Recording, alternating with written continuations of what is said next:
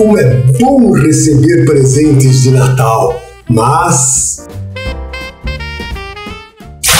o verdadeiro espírito desta festa é a chegada daquele que nos salvou.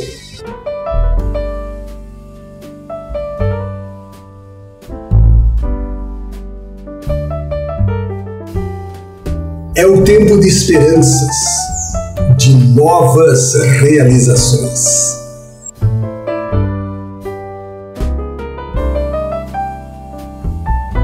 Por isso, desejamos a todos vocês muita paz, esperança de dias melhores e momentos especiais nas suas vidas.